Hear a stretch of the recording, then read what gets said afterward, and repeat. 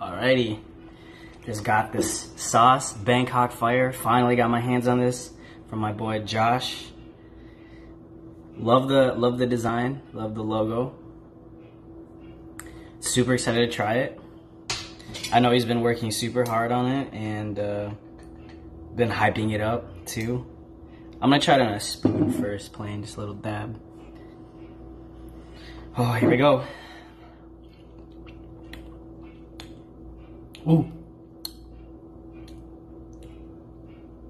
Well, let me uh, let me get another one. Still processing.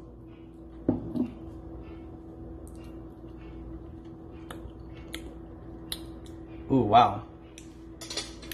Um, immediately get like a hit in the face with like that super zingy cane vinegar, and it it's very well balanced with that sweetness. This is a very sweet hot sauce to me.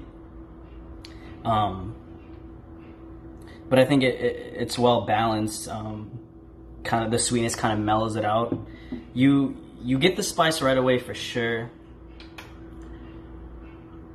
It doesn't like linger at all. It's not like a like a habanero or whatever. Um, it kind of just hits you right away and then it like goes away, which is ideal for me because you can just keep downing it. Um, it doesn't just continuously burn, but um, really good actually. I like it a lot. I feel like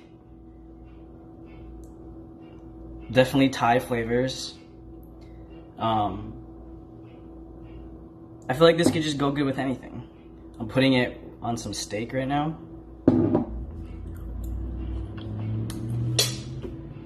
Of course. Delicious.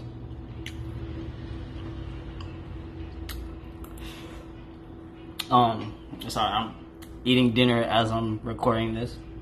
But really good. I um I wish it had like um I feel like it's missing some like depth or something.